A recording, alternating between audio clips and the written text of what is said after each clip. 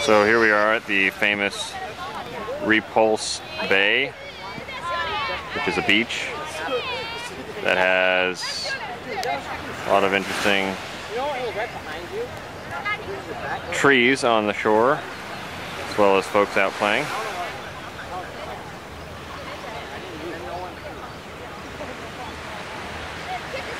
And extremely tall buildings in the background, which are about to fall over, in my opinion.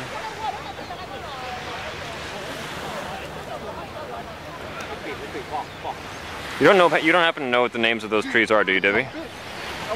Any of the ones that we've passed? No.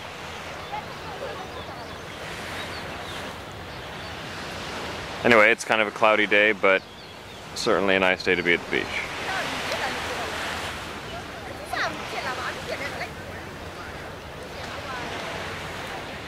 With the really cool lifeguard towers.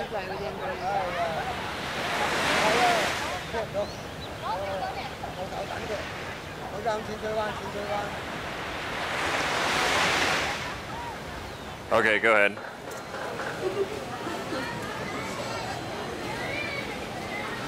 There we go.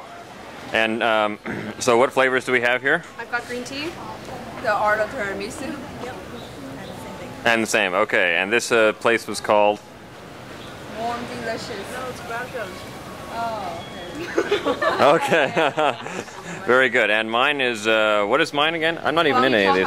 Well, uh, oh yes, it's over here. It's the chocolate version, and uh, this is the sort of the waterfront here of the Stanley Bay area, enjoying ice cream for everyone. Okay.